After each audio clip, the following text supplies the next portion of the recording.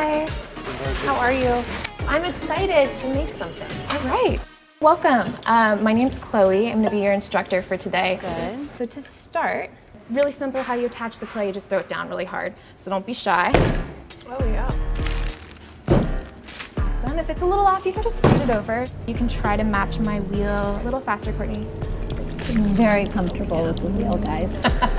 You should have some water on your hands. Gently start pressing straight down. It does feel like this is super painful. Mine feels very not even. It's a vibe, Kourt.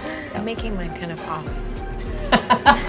On purpose. Yeah, that's the vibe. I literally have to go get my wrist checked. Chloe, that looks amazing. Still very even.